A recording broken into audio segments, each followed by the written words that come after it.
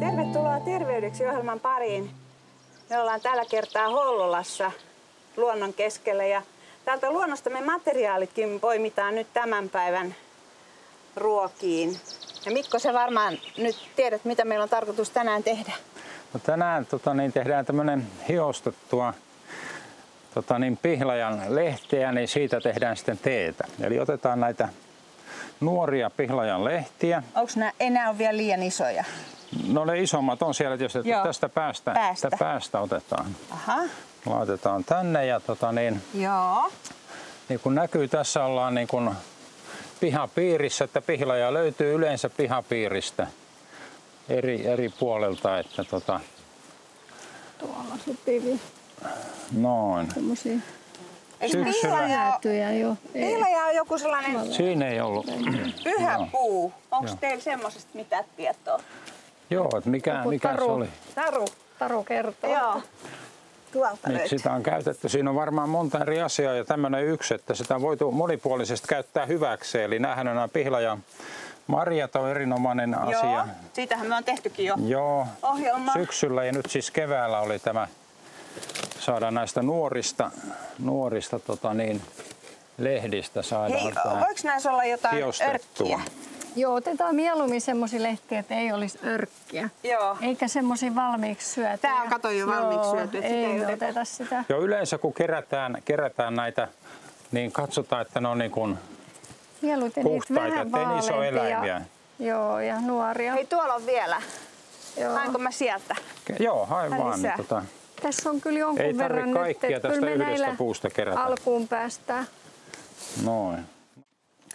Äsken hä- haettiin näitä metsästä näitä pihlajan lehtiä, tällaisia tuoreita pieniä. Ja nyt sitten katsotaan, mitä näille tapahtuu, kun tehdään, oliko se hiostettua teetä? Joo, Noniin. hiostetaan sitä, niin se kehittää aromia siinä hiostuksessa, mutta täällä on vähän tuulinen ilma. No, No näitä vaan otetaan tästä tämmönen nippu joo. Ja sitten tehdään tämmönen rulla. Rullataan tiukkaan ja sitten ruvetaan leikkaamaan. Oi että. Tää on tämmöistä krouvia työtä ja Joo, se on sitä, että nämä solurakenteet tässä menee rikki. Noin. joo. Ja sitten tarvitaan tämmöinen lasipurkki. Ja näitä sullotaan tänne lasipurkkiin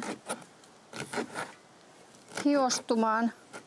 Joo. Tää saa tulla aika täyteen. Siis tarkoittaako se hiostumista, kun ne on siellä? Joo, ne laitetaan tänne ja sullotaan tiukkaan ja tässä se aromi kehittyy. Hmm? Ja tämä määrä, Tää on kaikki. tämmönen, se pitää, joo, tätä, tätä tarvitaan aika paljon tuommoisen pienenkin purkkiin. Eli se pannaan ihan tiukkaan joo, sitten sinne. sullotaan tiukkaan Hyvä. sinne. No ei olisi tullut mieleenkään kyllä, että tälleen lähdetään tekemään. Niin. Se on kyllä aika mielenkiintoista, että se aromi tässä sitten kehittyy. Mm-hmm.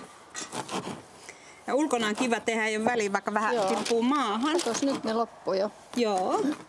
Niitä olisi voinut olla ehkä vähän enemmän, mutta kyllä tämä nyt just ja just piisaa. Joo. Noin. Sitten laitetaan purkki kiinni ja sitten me tarvittaisiin villasukka. Mikko, oliko No niin, sulla joku sopiva tästä villasukka? löytyy. Hyvä. Kun tämä täytyy nimittäin olla pimeässä ja Aha. ei nyt maalla aina satu olemaan muuta, niin No laitetaan eipä. tämmöisen villasukka. Joo. Siinä se on ihan nätisti pimeässä. Ja Onko väliä missä lämpötilassa? No se saa olla semmoisessa niin lämpimässä huoneen lämmössä. Että Tai semmoinen tällaisessa auringonpaisteessa. 25 astetta. No mä olen pitänyt kyllä niin huo, ihan sisällä huoneessa. Että mm-hmm. kesällä kun on semmoinen 25 aika tavallinen, niin, niin se on sopiva. Ja Onko teillä 25 astetta sisällä? Joo, eikö, Älä te, hyvä. eikö teillä ole kesällä? Meillä on kuule, no joo, no meillä on yleensä pidetään aika Voi viileä. meillä olla 27 no ulkona on ainakin nyt 25, että se on ihan hyvä. No sitten tätä sitten käydään kurkkimassa sitten. Ei nyt tänään kannata käydä, mutta huomenna voi kurkkia ja haistella sitten vähän, että Aha. tuleeko aromia jo. Sitten jos sieltä tulee aromia, niin mitä sitten? No onhan tässä nyt jo. Joo, mutta ei ole vielä semmoista. Just. Se kehittyy sitä. No semmoinen pari päivää, pari päivää hiostuu, niin sitten on aromi kehittynyt ja sitten se otetaan pois ja levitetään, levitetään vaan jonnekin kuivumaan. Ja, Mm-hmm. Ja tota, no, niin kesällä monessa paikassa löytyy semmoinen, että voi ihan huoneelämössäkin, mutta varjossa kuivata. Mutta ei Onko kuitenkaan tässä missään muuten niinku... tuoksua Tässä kotona? meillä on tätä viime vuoden Viime vuotista pihlajalehtiteetä. Niin, Tiedätkö, mä luulin ensin, että tämä on suppilovahvera. joo. Niin te... Aika eri väristä tämä. Tämä on Nyt tämmöinen ruskea. täältä. Joo. Tämähän on Mutta nyt tässä on hyvä aromi jäljellä vielä Oi ja että. tätä kun hauduttaa, niin ei Eli... tarvi välttämättä vihreätä teetä. Ja se on kotimaista ja se on luomua. Tästä tulee oikein hyvä. Tänne asti tuntuu tuo tuoksu. Minkälaiselle vesimäärälle tämä olisi esimerkiksi? No yhteen kupilliseen niin varmaan tuommoinen.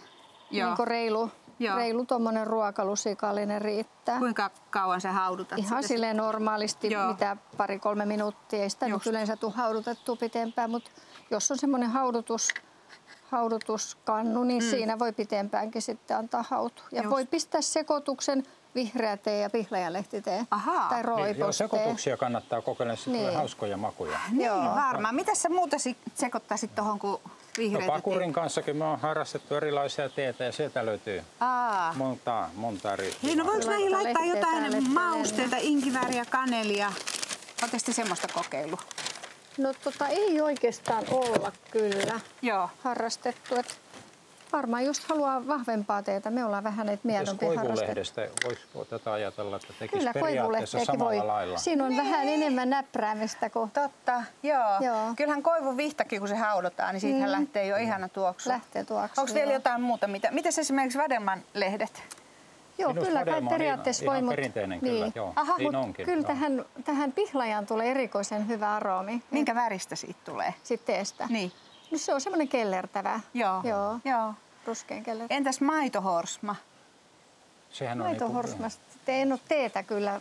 Joo. Mut Olen siitäkin voi kyllä sekoituksiin laittanut, mutta Joo. e- en ole saanut siihen oikein Viinimarjojen lehdistä makua. tulee mieleen, että voisi hyvin myös ihan vastaava kuin tämä. Joo, varmaan. Tehdään. Joo, koska esimerkiksi mustaviinimarjan lehtiähän käytettiin Joo. aina, kun Niin. suolattiin kurkkuja, niin kyllähän Joo. siitä Joo, jotain se menee siihen. Joo.